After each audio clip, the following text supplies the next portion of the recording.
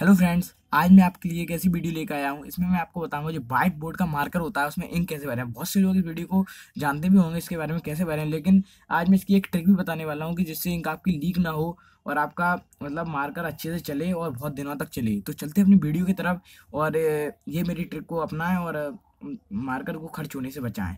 तो सबसे पहले आप एक वाइट बोर्ड मार्कर लेंगे। इस मार्कर को आप यहाँ से खोलेंगे। इसका कैप यहाँ से आप देख सकते हैं यहाँ से खोलेंगे।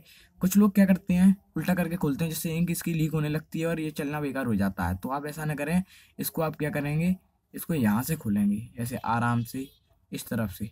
बिल्कुल हाँ इस तरफ़ से ऐसे करके इसको खोल देंगे। और खोलने के जस्ट बाद ये होती है इसकी इंक की रिफिल, जो आप देख सकते हैं ध्यान से।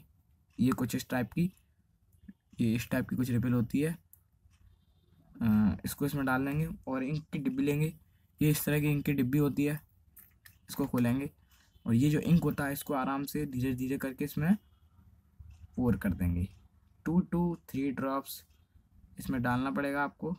वन टू थ्री फोर आराम से इसमें चली जाने के बाद आप हाँ जल्दी से जल्दी, जितना जल्दी हो सके उतना जल्दी इसको कैप को जल्दी से बंद कर दीजिएगा, जिससे लीक ना हो।